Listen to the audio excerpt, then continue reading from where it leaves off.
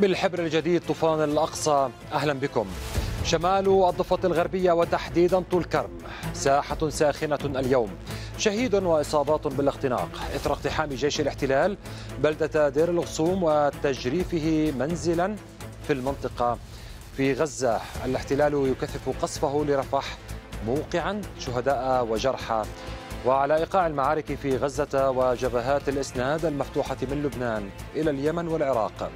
تسير أيضا مفاوضات وقف إطلاق النار في القاهرة.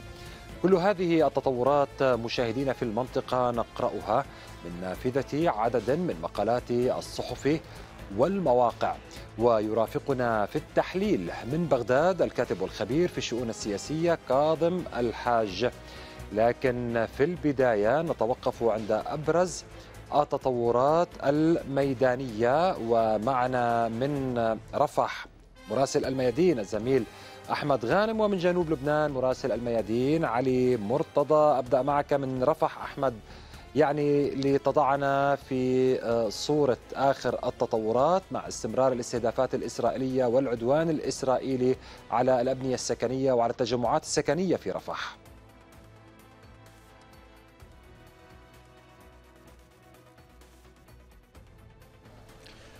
نعم مروان العدوان الإسرائيلي ليس متواصلا فقط فيما يتعلق بالغارات الإسرائيلية وكذلك حرب الإبادة الجماعية التي تشنها إسرائيل على غزة منذ السابع من أكتوبر منذ السابع من أكتوبر الماضي. ولكن هذه الحرب لها آثار أيضا مدمرة على كل على كل الصعد. ولكن في إشارة سريعة إلى معظم الغارات التي نفذتها الطائرات الحربية أو أبرز هذه الغارات في رفح ارتقى ثلاثة شهداء في قصف استهدف شقتين سكنيتين في المنطقة الشرقية لمدينة رفح منزل عائلة أبو العينين. وكذلك أيضا تستمر يستمر القصف المدفعي على الأطراف الشرقية للمدينة. في خان يونس القصف يعني يتركز بالمدفعية على الأطراف الشرقية للمدينة وتمكنت الطواقم الطبية من انتشال جثامين سبعة شهداء متحللة من أطراف مترامية من المدينة. الجيش ركز على استهداف المنطقة الوسطى وقد قصف الجيش الإسرائيلي الليلة الماضية منزلا مأهولا بالسكان في مخيم النصيرات أدى إلى ارتقاء ثلاثة شهداء ومنزلا آخر في مخيم المغازي للاجئين إلى الشرق من المنطقة الوسطى ما أدى إلى وقوع شهيد وعدد آخر من الإصابات. وكذلك كان هناك قصفا مدفعيا متفرقا على مخيمي المغازي والبريج شرقي دير البلح والزوايد مرورا بمفترق الشهداء مرورا بالمغراقة ومدينة الزهراء وصولا إلى منطقة وادي غزة وأخيرا منطقة المنطقة منطقة شارع الرشيد. في مدينة غزة أيضا الجيش الإسرائيلي قصف حي الزيتون منزلا هناك أوقع عددا من الإصابات وكذلك قصف أحياء الشجاعية والتفاح والشعف ولا سيما الأحياء الشرقية. واستهدف بطبيعة الحال أحياء تل الهوى والشيخ عجلين وهو بالمناسبة يكرر استهداف هذه المناطق مجددا على الرغم من إعلانه سابقا أكثر من مرة إنهاء عملياته في المناطق الشمالية وكذلك في أقصى شمال القطاع نتحدث عن بيت حنون وبيت لاهية وشرقي جباليا. هذه تتعرض إلى غارات متواصلة ولكن الحرب الأخرى التي تشنها إسرائيل على غزة ربما تكون أيضا ليست أقل خطورة مروان من حرب الإبادة. الجيش الإسرائيلي منذ بداية هذا العدوان ركز على استهداف ركنين أساسيين من أركان قيام أي مجتمع حضاري وهو الحضارة الإنسانية سواء الآثار الفلسطينية وكذلك التعليم. دمر معظم الآثار الفلسطينية وكل الآثار التاريخية التي طبعا تعود لعصور خلت دمر مدينة غزة القديمة. العشرات من المواقع التراثية والأثرية التي عملت عليها بعثات أوروبية في غزة ودعمت أخيرا في السنوات الماضية من أجل إبرازها وإظهارها واكتشافها. الجيش الإسرائيلي عمد إلى تدميرها ولعل أهدافه واضحة لأن من ليس هو حاضر ليس له مستقبل. أما التعليم فالجيش الإسرائيلي طبعا بطبيعة الحال وتعرف دمر عشرات الجامعات دمر عشرات المدارس. ما تبقى من المدارس تحولت إلى مراكز إيواء. هذا على هذين الصعيدين. الصعد الأخرى فيما يتعلق بأمور الحياة. البلديات دمرها الجيش الإسرائيلي بشكل كامل وهي مؤسسات خدمية. المقرات الوزارية والحكومية دمرها بشكل بشكل كامل. الأخطر من ذلك ما يتعلق بالأمور الحياتية محطات المياه الصرف الصحي الآبار. كل ما يتعلق بتوفير أسباب الحياة لسكان القطاع دمره الجيش الإسرائيلي بشكل كامل. ما يعمل من هذه الأشياء التي ذكرتها آنفا ولا سيما الآبار هي أعداد محدودة وبالتالي تتراكم أزمات المياه تتراكم كميات كبيرة من الصرف الصحي وكذلك أيضا النفايات الصلبة في الشوارع. معظم مياه الصرف الصحي تدفقت إلى الشوارع بدلا من أن تضخ إلى محطات التجميع التي بالمناسبة قصفتها إسرائيل وأوقفت عملها. لذلك الآن نحن أمام مكرهة صحية جديدة فيما يتعلق بضخ المياه. مياه الصرف الصحي بدأت تنزل إلى البحر أو تضخ في البحر بلا معالجة. فبالتالي نحن أمام كوا أو كارثة بيئية كبيرة تلوث بحر مدينة غزة مع العلم أن مؤسسات دولية ومحلية عملت طوال العامين الماضيين على ضمان عمل معظم محطات الصرف الصحي بقطاع غزة وبالكاد تمكنوا من إبقاء أو الإعلان عن أن شاطئ غزة نظيف بنسبة 80% نظرا لمعالجة نعم. ملف الصرف الصحي ولكن إسرائيل عادت مجددا لتضرب البيئة الفلسطينية، الأخطر من ذلك بأن مياه الصرف الصحي وتجمعاتها دون معالجة هذه المياه تتسرب إلى الخزان الجوفي وكذلك يتسرب معها السموم وكميات كبيرة من التلوث ربما تؤثر على نوعية المياه التي تقدم إلى الناس وتسبب التلوث لهم. نعم شكرا لك على هذه التفاصيل من رفح مراسل الميادين أحمد غانم ننتقل إلى الضفة الغربية إلى طول كرم ومعنا من هناك الصحفي معين شديد مرحبا بك معين يعني لتضعنا في آخر التطورات في دير الغصون حيث اقتحامات أو كان هناك اقتحام لقوات الاحتلال ودارت معارك واشتباكات قبل ساعات قليلة بين المقاومين وقوات الاحتلال المقتحمة.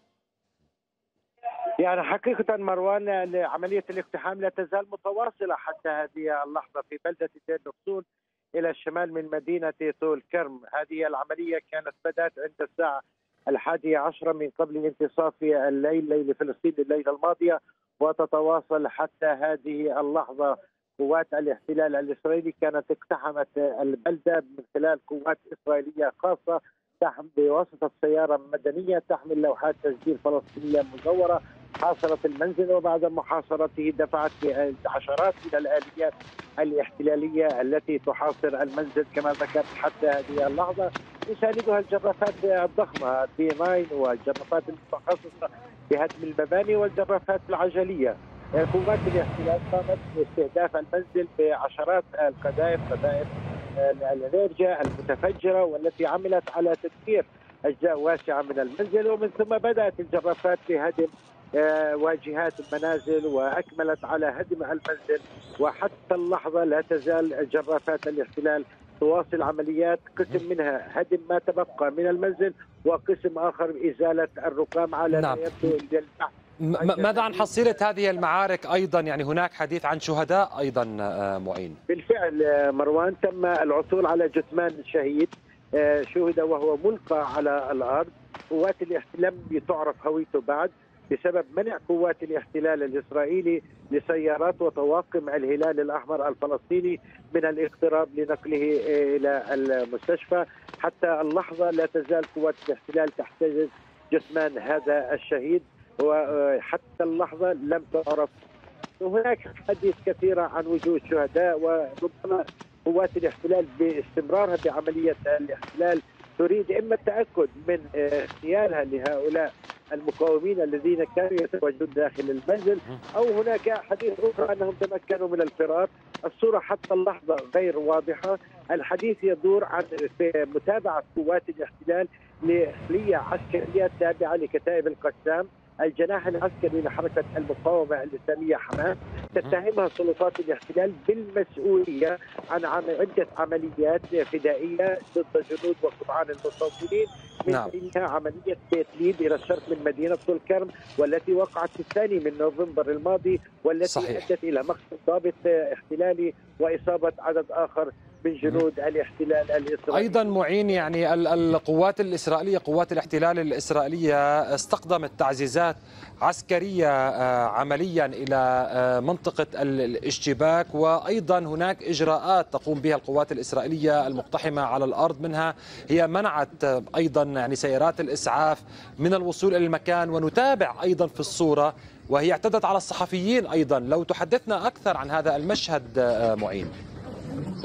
يعني حقيقة كل شيء مستهدف الغصون بالمناسبة كنت مع مجموعة أنا أتحدث إليك من ليس بعيدا حوالي 400 متر عن موقع العملية آه، مستمرة آه، استهدفتنا جاء جيب عسكري بالقرب منا استهدفنا بقنابل الغاز المسيل للدموع وبالقنابل الصوتية وهذا ليس جديد بعقلية المحتل الإسرائيلي الذي دائما يهدف ويستهدف الصحفيين لمنعهم من نقل الحقيقة من نقل جرائم الاحتلال الإسرائيلي إلى العالم. وبالتالي يعني هو كالعادة يستهدف الصحفيين ويستهدف الطواقم الطبية ويستهدف كل شيء حتى استهدف البنيه التحتية.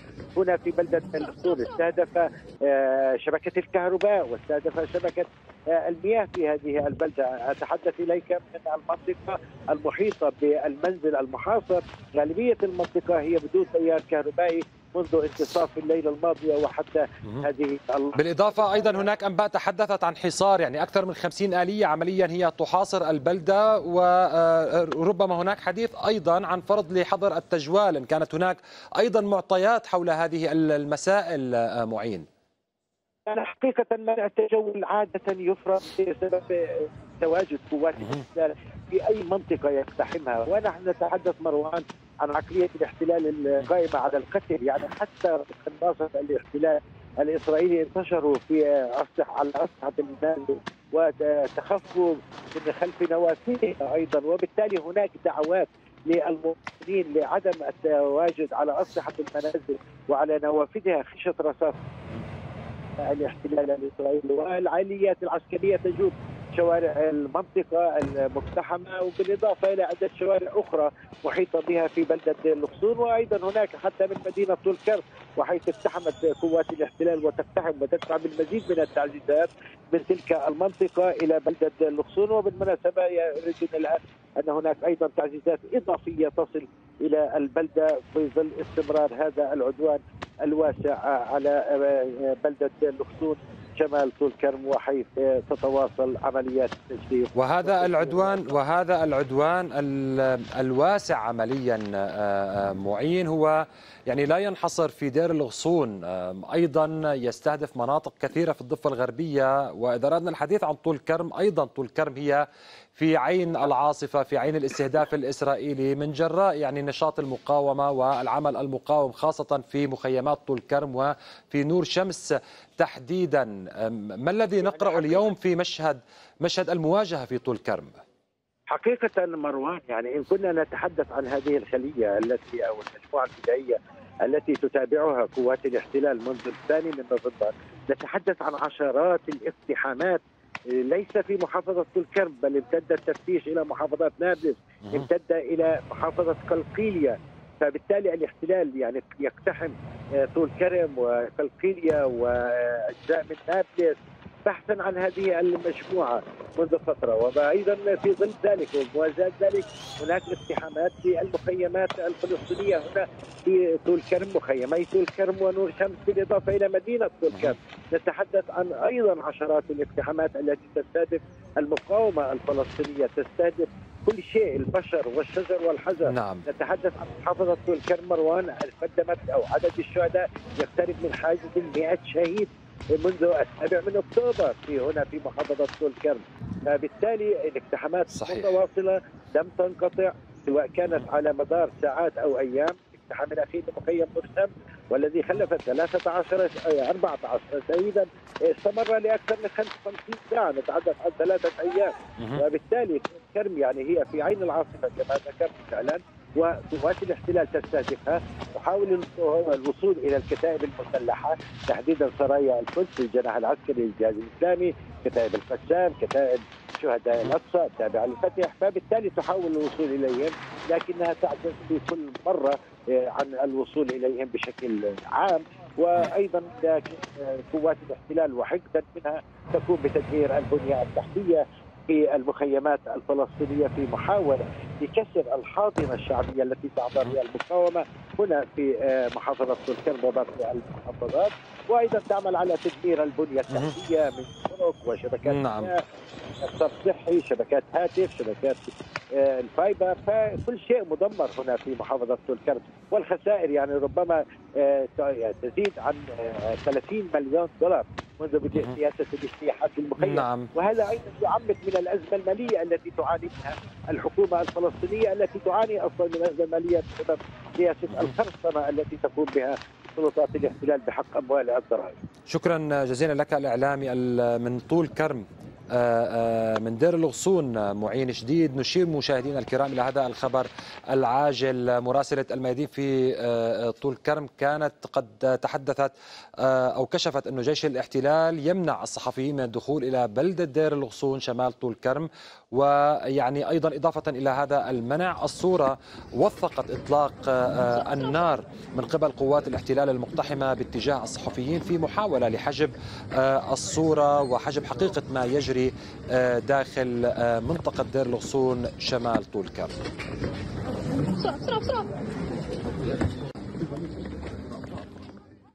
ومن الضفة الغربية إلى جنوب لبنان معنا من هناك مراسل الميادين الزميل علي مرتضى علي لتضعنا في صورة المشهد في هذه الأثناء. صباح الخير. يعني المشهد يمكن القول عنه بأنه الهدوء الحذر الذي يعم طول الجبهة. تقريبا هذا الهدوء استمر منذ الأمس.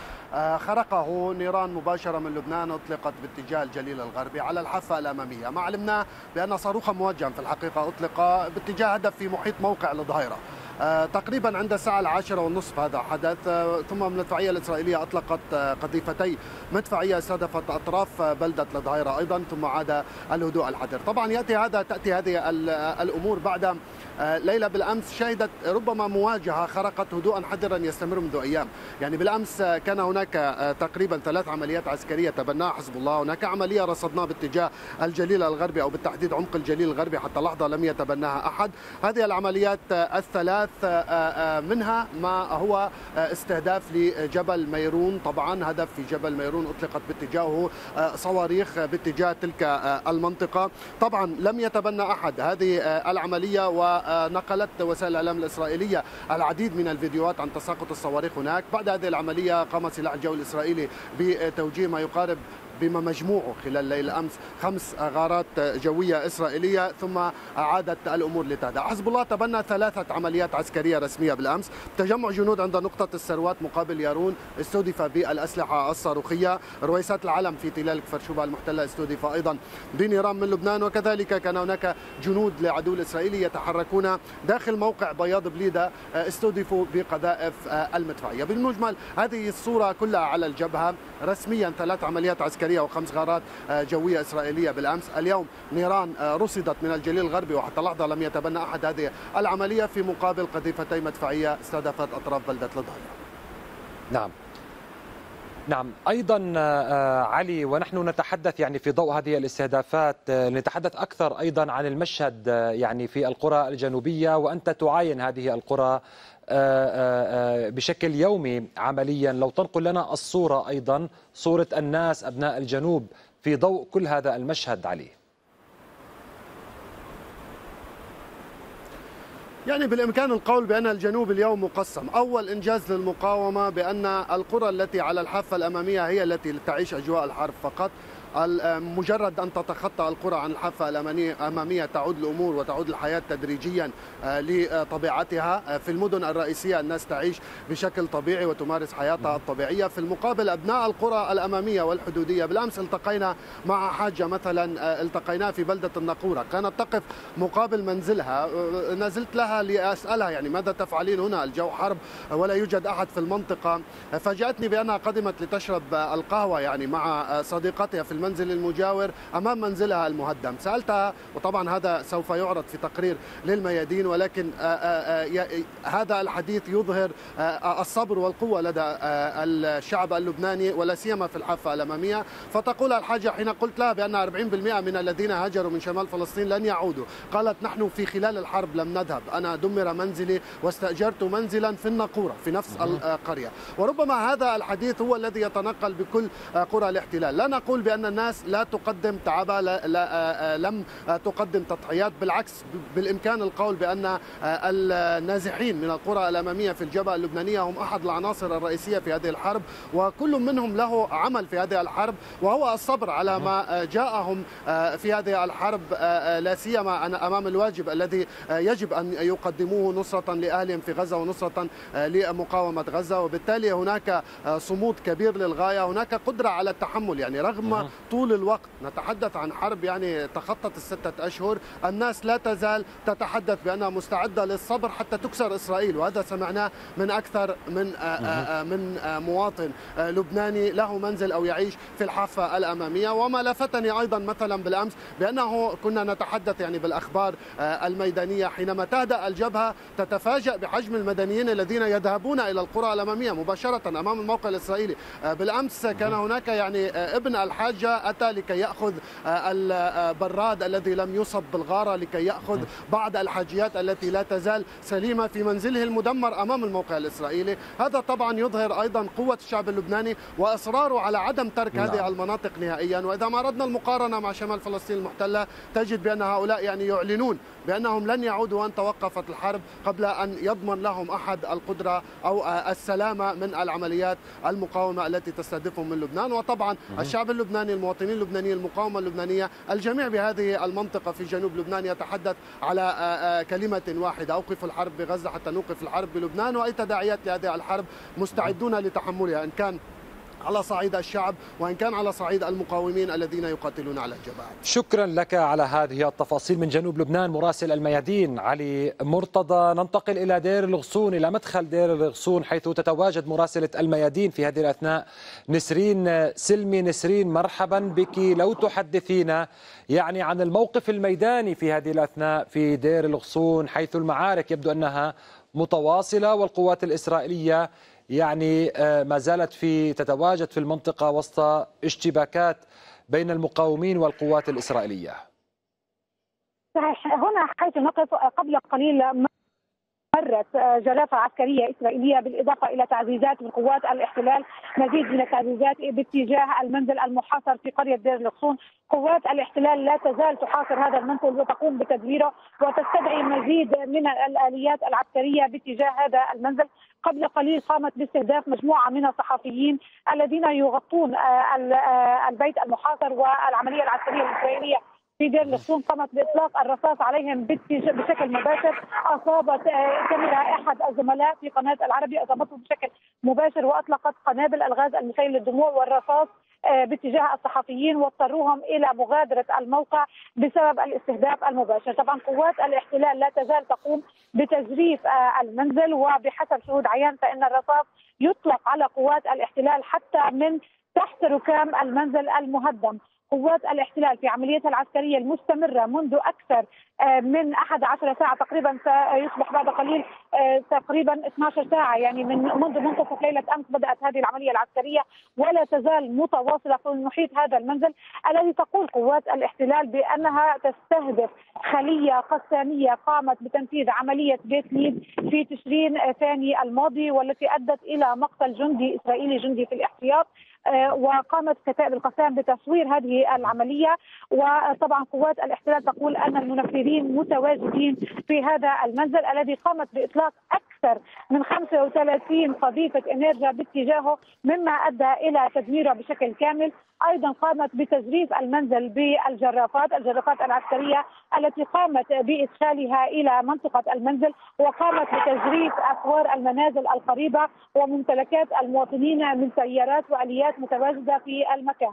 أيضا هناك آه، معلومات عن شهيد لا لا يزال جثمانه موجود داخل هذا المنزل وقوات الاحتلال تمنع الطواقم الطبية وطواقم الاسعاف من الوصول وكل من يحاول الاقتراب من المكان تقوم بإطلاق الرصاص باتجاهه بعدما قامت بنشر القناصة على أسطح المنازل المجاورة على الأسطح العالية وتقوم بإطلاق الرصاص باتجاه كل من يقترب من الموقع. في طريقنا إلى هنا من من مدينة طول كرم ومن رام الله هناك تواجد عسكري مكثف هناك تحذيرات حتى من قبل المواطنين بأن لا نتوجه إلى دير الخود بسبب المعارك آه، التي تجري هناك وبسبب التعزيزات الكبيرة التي نشرتها قوات الاحتلال في آه، القرية. قوات الاحتلال أعلنت طبعا حظر التجوال وبالتالي هي تطلق الرصاص على كل من يتحرك في القريه شهود عيان أفادونا بأن شبان صغار آه، فتية قاموا برشق قوات الاحتلال بالحجارة وهي تطلق.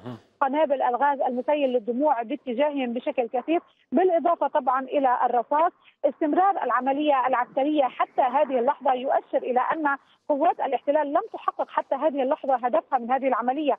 هي نعم. تريد أن تتأكد من أنها قامت فعليا باغتيال المقاومين أو على الأقل تقوم باعتقالهم لكن حتى هذه اللحظة استمرارها لأكثر من 12 ساعة يعني أنها لم تنجح حتى هذه اللحظة في تحقيق هذا الهدف أو لم تتأكد من تحقيقه آه، لحتى هذه آه، الساعات والعملية مستمرة وكما أشرت قبل قليل دخلت مزيد من الآليات العسكرية والجرافات إلى الموقع آه، المحاصر.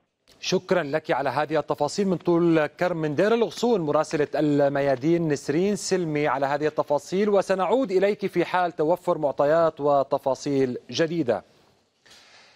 العين الإسرائيلية مفتوحة على جبهة الإسناد العراقية تقول صحيفة جورزالم بوست الإسرائيلية إن الولايات المتحدة الأمريكية لا تبدي استراتيجية واضحة للرد على هجمات كتائب حزب الله. تنطلق الصحيفة في تحليل هذه الخلاصة من باب القصف الصاروخي الذي طال قاعدة الرميلان الأمريكية في سوريا بحسب ما أعلن قبل أيام بيان للتحالف نفسه. القصف له خصوصيته لأسباب عدة بحسب الصحيفة. أنه أتى بعد يوم من اختتام رئيس الوزراء العراقي محمد شياع السوداني زيارة إلى الولايات المتحدة الأمريكية وصف خلالها الرئيس الأمريكي جو بايدن الشراكة بين بغداد وواشنطن بالمهمة. ويبدو أن واشنطن بحسب الصحيفة الإسرائيلية سعيدة بهذه الترتيبات الغربية بين الجانبين أي أن تتواصل الزيارات الرفيعة المستوى إلى الولايات المتحدة الأمريكية. بينما تشن عناصر أخرى حربا ضد الولايات المتحدة وحلفائها وتختطف مواطنين غربيين. والكلام طبعا لصحيفة جورزالم بوست. رحب بك ضيفي من العاصمة العراقية بغداد الخبير بالشؤون السياسية أستاذ كاظم الحاج. يبدو أنه يعني عمليا العين الإسرائيلية ستتفتح أكثر وأكثر على جبهة الإسناد العراقية على العراق، بالأمس كان هناك استهداف من قبل المقاومة الإسلامية في العراق لمواقع مهمة، مواقع استراتيجية في تل أبيب وبئر السبع وحتى البحر الميت، تم استخدام صاروخ الارقم وهو صاروخ نوعي وهو مطور من صاروخ كروز. ما الذي نقرأه في طبيعة هذه الاستهدافات؟ وهذا يشير إلى تطور نوعي عمليا له الكثير من الدلالات والرسائل. نعم بسم الله الرحمن الرحيم. تحية لك أستاذ مروان ولمشاهديكم الكرام. وابتداء نعتذر عن هذا التأخير الغير مقصود حقيقة يعني. لا شك في يعني الموقف العراقي بصورة عامة وفصائل المقاومة الإسلامية في العراق بصورة خاصة تجاه القضية الفلسطينية ثابت. والرسائل التي تطلق يوميا حقيقة أيضا أعتقد أنها أصبحت واضحة وخصوصا لداخل الكيان الإسرائيلي وأيضا للصهاينة بصورة عامة في المنطقة وخصوصا آه، القوات الأمريكية المحتلة. أولا ما حدث يوم الخميس حقيقة واضح في رسائله آه، طبيعة الأهداف المستخدمة وهذا عفوا وهذا يدل على أن هناك جهد استخباري واضح داخل الكيان الإسرائيلي وهذه نقطة تحسب حقيقة محور المقاومة برمته ولفصائل المقاومة الإسلامية في العراق بصورة خاصة. أيضا المديات التي الآن أصبحت تحت يعني سيطرة فصائل المقاومة أيضا نقطة مهمة. لابد أن نشير على أن هناك تنسيقا ما بين فصائل المقاومة خصوصا الانتقال إلى المرحلة الرابعة من قبل أنصار الله وهذا أيضا يعطينا دلالة واضحة على أن هناك تنسيقا. الأمر الآخر الرسائل الواضحة للداخل العراقي فيما يخص طبيعة التفاهمات الرسمية مع الجانب الأمريكي وهذا الأمر يعني لابد أن يؤخذ عراقيا بنظر الاعتبار على أن هناك موقفا ثابتا لا يتغير باتجاه آه، القضية الفلسطينية وأيضا تواجد القوات الأمريكية وخصوصا في العراق وسوريا. بمعنى أن القوات الأمريكية مهما طالت هذه الفترة الموجودة الآن فهي هدف مشروع لفصائل المقاومة الإسلامية إلا إذا كان هناك التزاما بالأطر الرسمية التي تم الإعلان عليها خصوصا نحن بعد ثلاثة أشهر من اليوم هناك المفروض أن يكون هناك اجتماع للجنة التنسيقية العسكرية العليا بلجانها الفرعية الثلاثة والمفروض أن يكون هناك نعم. يعني صورة واضحة لطبيعة تواجد هذه القوات وخصوصا ما يسمى بالتحالف الدولي وعلى وجه الخصوص القوات الأمريكية أيضا سيد الفاضل يعني آه، الكيان الإسرائيلي أصبح حقيقة يعني آه، في وضع لا يحسد عليه نستطيع أن نسميه بهذه الصورة لأنه جبهات الإسناد يعني نعم. الآن آه، اكتملت يعني درجة صحيح. 360 درجة محاصرة لهذا الكيان الإسرائيلي وبالتالي جميع الأهداف داخل فلسطين وخارج فلسطين المحتلة أصبحت تحت نعم. مرمى فصائل وأنت تتحدث العراقية أو غيرها. تماما. وأنت تتحدث عن جبهات الإسناد. دعنا ننتقل من جبهة الإسناد العراقية سيدي الكريم إلى جبهة الإسناد اليمنية. وعن الخطوة اليمنية التاريخية نقرأ لعباس السيد في صحيفة الثورة اليمنية. لا يأس لا إحباط. أو ملل. بهذه اللاءات الثلاث يتحدث الكاتب عن دخول القوات المسلحة اليمنية المرحلة الرابعة من معركة إسناد غزة. الخطوة استراتيجية بكل المقاييس على المدى القريب وسيكون لها تأثيرها وتداعياتها السياسية والعسكرية على المدى القريب والبعيد. فاليمنيون قدموا يضيف الكاتب ورقة إسناد قوية للمفاوض الفلسطيني ودشنوا مرحلة جديدة من المواجهة مع العدو الصهيوني الذي سيكون مجبرا على ترشيد أطماعه وكبح جموحه وغطرسته. قد يرى البعض في القرار اليمني مغامرة. البعض سيجب ويندد لكنه في الحقيقة يأتي في إطار المساعي اليمنية لتطبيق القوانين الدولية الإنسانية لمكافحة جرائم الإبادة الجماعية. لإحلال السلام في العالم ولتحقيق كافة المبادئ والأعراف التي أقرتها الأديان السماوية بلغة أخرى على العالم أن يدرك أنه من غير المنطقي أن تستمر الدول وشركاتها أو شركاتها عذرا في إحصاء أرباحها المالية بينما يواصل الفلسطينيون إحصاء قتلاهم الذين يسقطون في مجازر يومية. نعم سيد آه، كاظم إذا آه، نعود مشاهدينا الكرام نعرض إليكم هذه المشاهد مشاهد لقصف آه، سرايا القدس لمحور نتساريم وهو محور مهم يعني يفصل هذا المحور شمال غزة عن المنطقة الوسطى وأيضا يعني آه، عن الجنوب وهو محور استراتيجي وله أهمية كبيرة جدا. نتابع هذه المشاهد ومجاهدو السرايا وهم يدكون آه، محور نتساريم بقذائف المدفعية.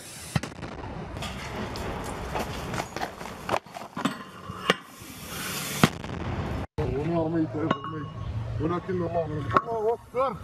الله أكبر.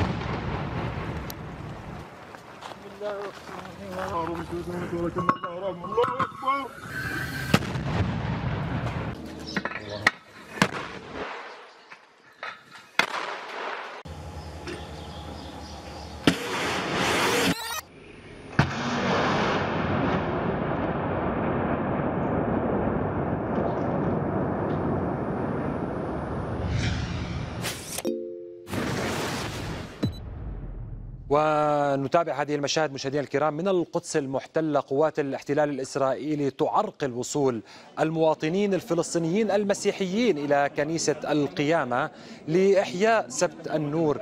يعني كما نتابع في هذه الأثناء وعمليا آه، آه، وفيما تتواصل الأعياد المسيحية قوات الاحتلال تحول القدس إلى ثكنة عسكرية ونتابع في هذه المشاهد يعني عملية منع آه، المواطنين الفلسطينيين من المسيحيين من الوصول إلى كنيسة القيامة يعني لإحياء الشعائر الدينية في سبت النور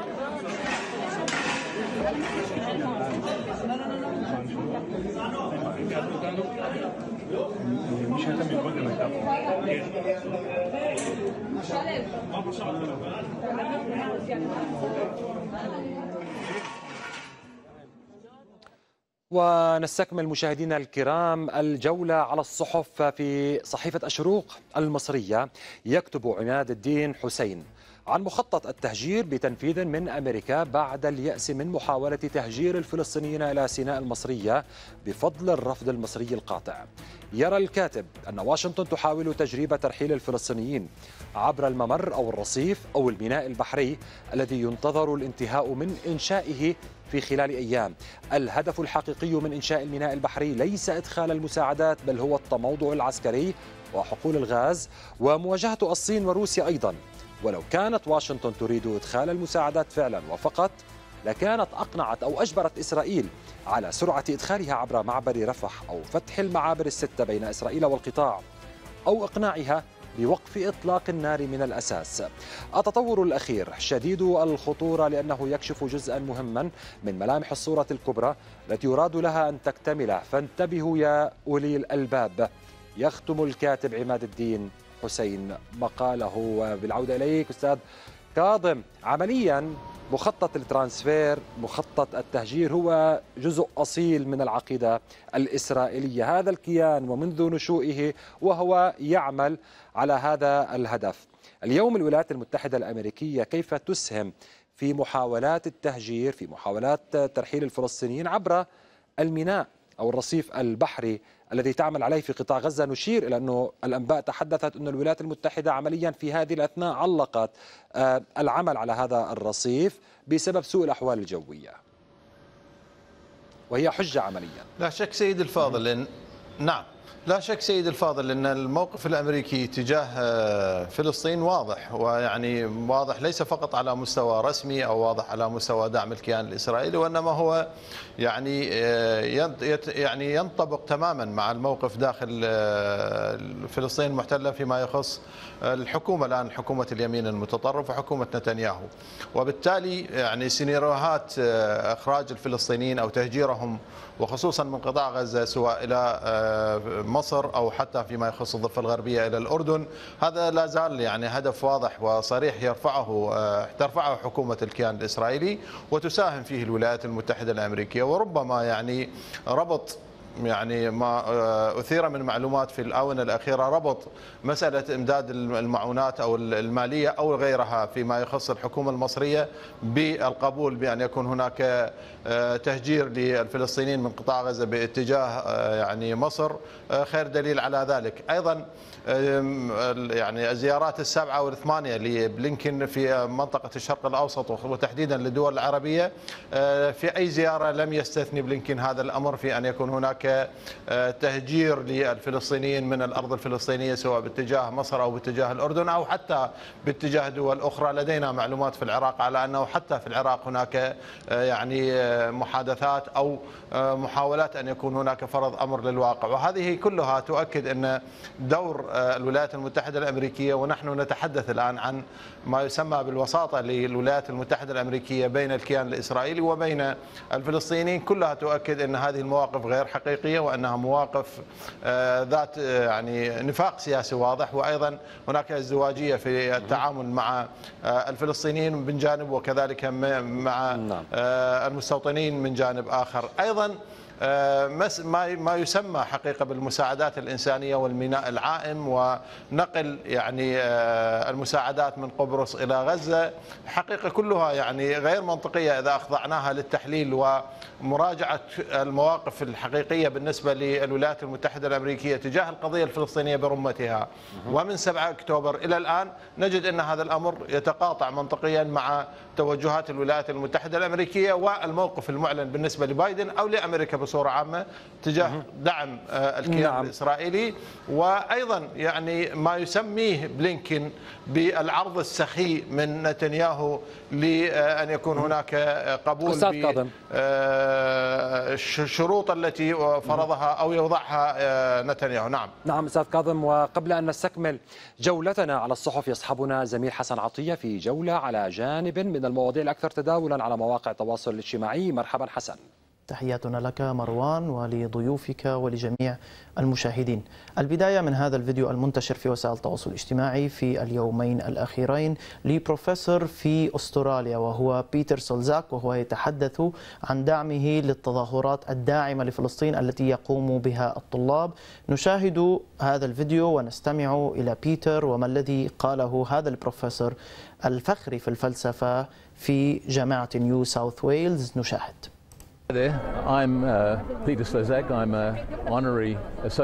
مرحبا أنا بيتر سولساك أستاذ في الفلسفة من جامعة نيو ساوث ويلز في حرم جامعة سيدني حيث يوجد هذا المخيم لدعم أهالي غزة. هي مبادرة مهمة.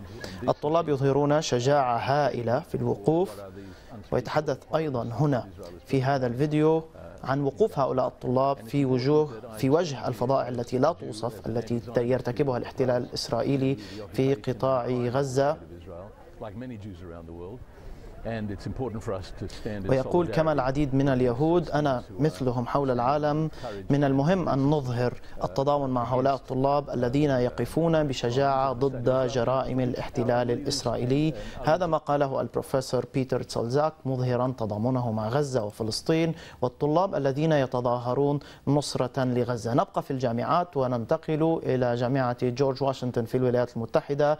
طبعا في الأيام الأخيرة انتشرت صورة لل الكوفية على أكتاف هذا التمثال لكن اليوم أصبح هذا التمثال مغطى بكل ما هو يرمز إلى فلسطين سواء من ستيكرز أو من الكوفية أو من العلم الفلسطيني وحتى لافتات ضد الإدارة الأمريكية المشاركة في الإبادة الجماعية. أيضا في الجامعة نفسها هذه الصورة تم إضاءتها على أحد مباني الجامعة وكتب عليها Genocide Joe الإبادة الجماعية التي يقوم بها آه، الرئيس الأمريكي جو بايدن وهنا لقطات وفيديو لهذه اللقطة ولإضاءة هذه الصورة على المبنى. نشاهد.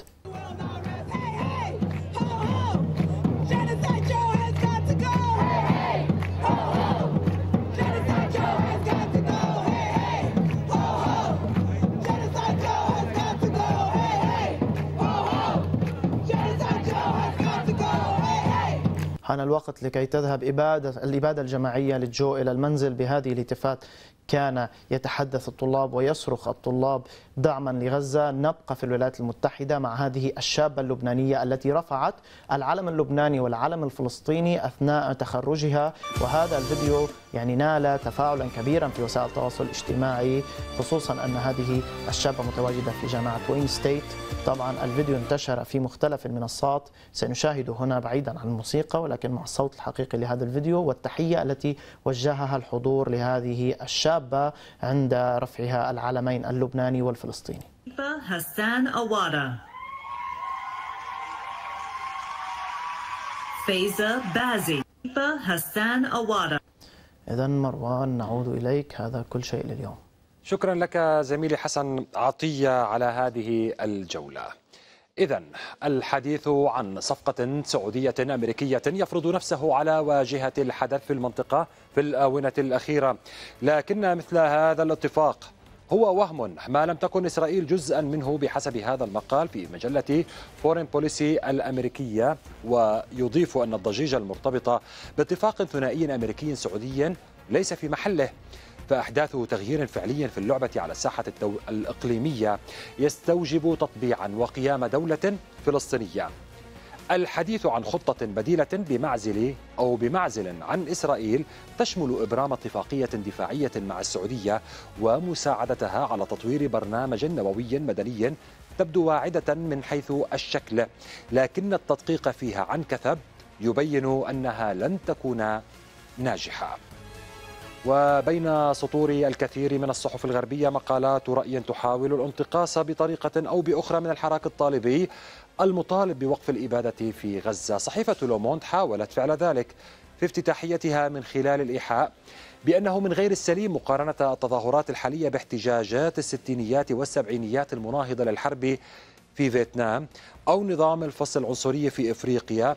والسبب برأي الصحيفة أن إسرائيل ترد حاليا على ما جرى في السابع من تشرين الأول أكتوبر.